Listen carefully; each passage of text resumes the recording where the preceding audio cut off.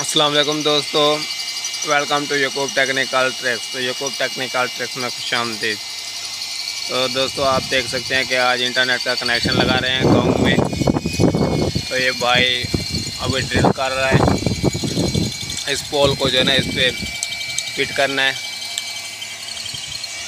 और ये आप देख सकते हैं पैम्प बनवाया ये। चालीस फीट का पैम्प है।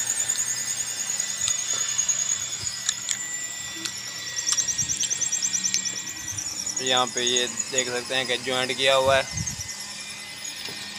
यहाँ पे जो ना लगाने के लिए ऐसे लगाते हैं चेक करें।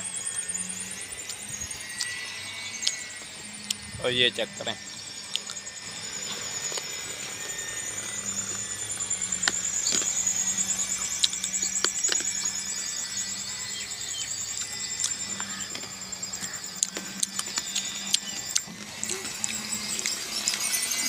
ये चेक करें। लाइट बीम जनरेशन टू लगी हुई है ऊपर। अब इसको हमने सीधा करना है। यहाँ पे ऊपर भी तारे बांधी हुई हैं। ये चेक करें।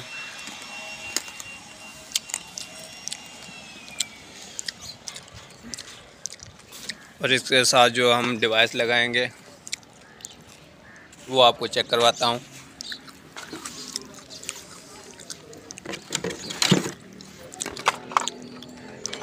ये डिवाइस है। चेक करें। ये टेन एफ़ थ्री है और इसकी ज़बरदस्त रेंज होती है। अगर आप घर में इंटरनेट लगवाना चाहते हैं तो आपके लिए ये रिक्वायरमेंट होंगी।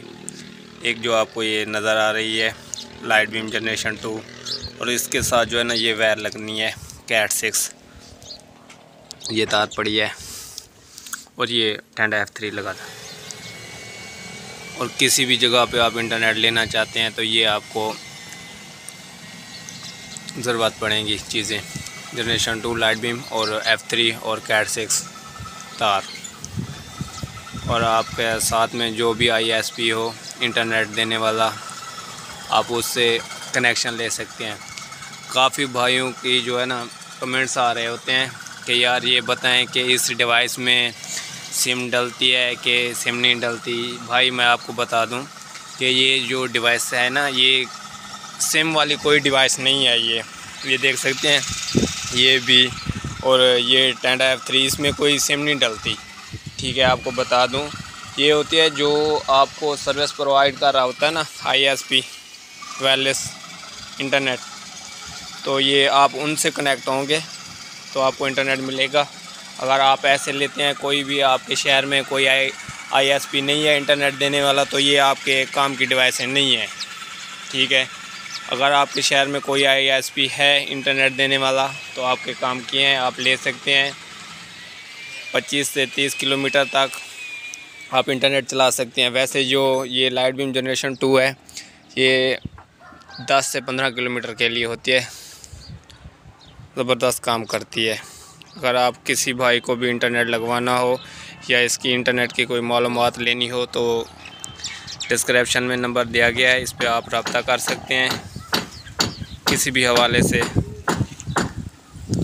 हमारे चैनल पे न्यू हैं तो हमारा चैनल सब्सक्राइब करें और बेल आइकन को प्रेस करें न्यू लेटेस्ट वीडियो आने के लिए। खुदा हाफिज़।